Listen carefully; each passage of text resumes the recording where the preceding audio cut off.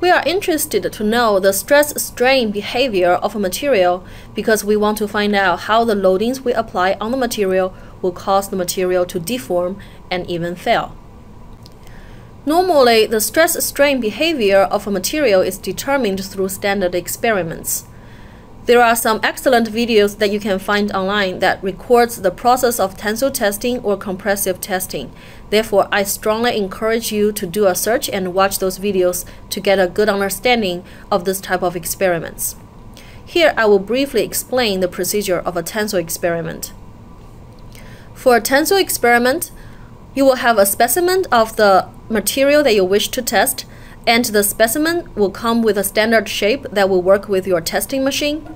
The testing portion of the specimen will have a known initial cross-sectional area, A0, and also a marked initial gauge length, L0. Sometimes there simply is a series of length marks on the specimen. And then we install this specimen into the testing machine by screwing or clamping the two ends of the specimen into the machine and the machine starts to pull this specimen, applying tension forces on it. Then the specimen will deform under the continuous pulling and gets longer and thinner under the tension forces. And if this continues, this specimen will start necking and eventually fails. And that completes the experiment. Of course, you can do a similar compressive testing experiment, and instead of pulling the specimen, the machine will compress the specimen until it fails. During the experiment, at the different time points, the machine records the loading applied at that point. From here, we can calculate the average normal stress, sigma equals to tensile force divided by the cross-sectional area. Also, the changing gauge length can be recorded at the same time, and from here, we can calculate the normal strain, epsilon, which is the new length, minus the old length divided by the original length. And both the normal stress and normal strain are functions of time, and we can plot these two variables and get the stress-strain diagram that can help us visualize the stress-strain behavior. Now, if you pay attention, you will realize that over time, both the cross-sectional area and the gauge length are continuously changing. So these two equations cannot really give us the true stress and strain at a given time. That is correct. The stress calculated this way by assuming a constant cross-sectional area is called nominal or engineering stress, and the strain calculated this way is called nominal or engineering strain and the diagram made this way is called a conventional stress-strain diagram. Since these diagrams are constructed following the same calculation rule, the engineers will interpret them with the same understanding and still get the needed information. And of course, if needed, a true stress-strain diagram can also be constructed by correcting the changing cross-sectional area and gauge length of the specimen. Let's look at an example of a typical conventional stress-strain diagram. The x-axis is normally the strain, and the y-axis normally represents the stress. Initially, when the stress increases, the strain will increase proportionally. On the graph, it is represented by a straight line with constant slope. This behavior will stop once the stress reaches the proportional limit, sigma PL and as the stress continues to increase, it reaches a point called yield stress, indicating that the material starts yielding. That means before this point, the material is going through elastic behavior. And if we unload the specimen from the machine, it is able to restore the elongation and return to its original length and shape. But after the yield point, the material enters plastic behavior, which means that any deformation after this point is not fully restored. The deformation is permanent. During yielding, there might be a small decrease in the stress and a period where the material is deforming even without any increase in the stress.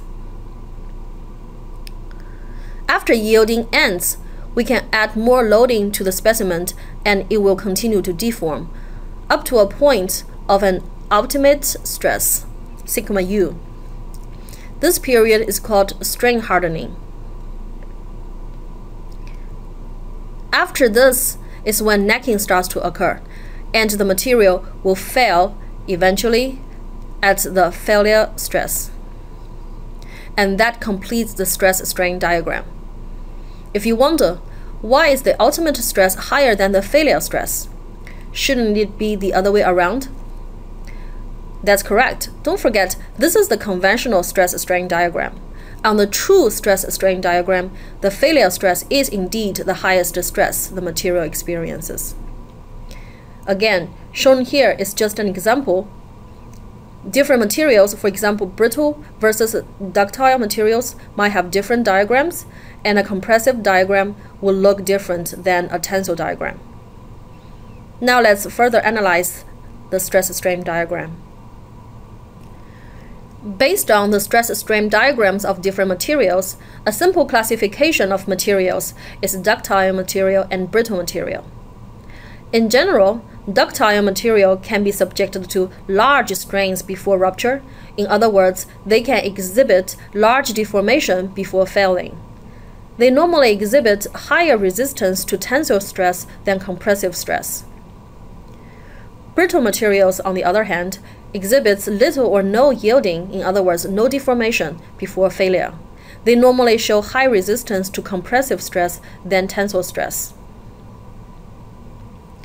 On this diagram, this proportional region is of special interest. It shows that the deformation of the material has a linear relation with the normal stress. The slope of this line is known as Young's modulus E, which is an important and inherent parameter for material mechanical property like density. It can also be called as the modulus of elasticity. This linear relation can then be written as sigma equals to E times epsilon, and this is known as the Hooke's law. Sometimes the yield stress is not very clear on a stress strain diagram. For this type of diagrams, we can use a 0.2% offset method to determine its yield stress. This means that we read 0.2% on the strain axis, which is a strain of 0.002. And from here, we draw a line that is parallel to the straight line on the diagram, and where this line intercepts with the diagram is considered as the yield stress.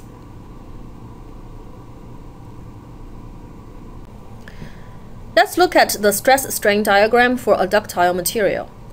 If we want to increase the yield point for this material, we can do some mechanical modification called strain hardening.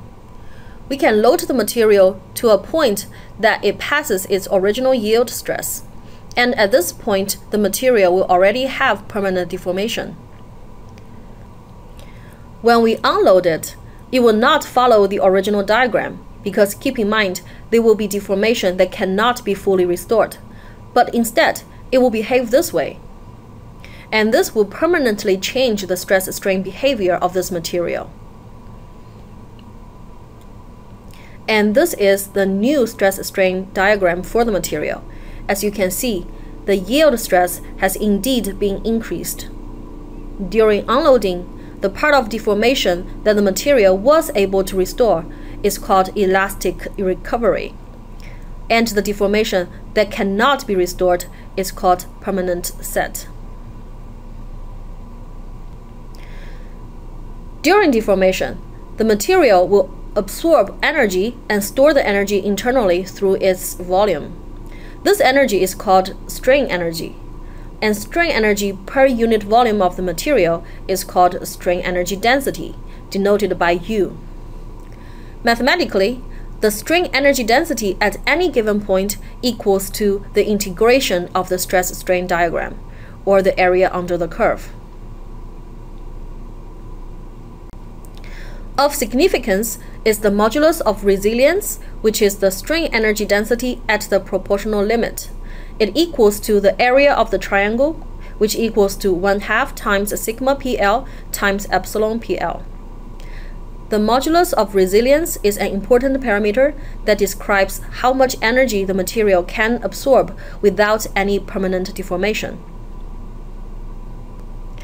Another important parameter is modulus of toughness, UT, which indicates the amount of total energy that the material can absorb before failing. And mathematically, it is calculated by integrating the entire stress strain diagram or calculate the area under the entire curve.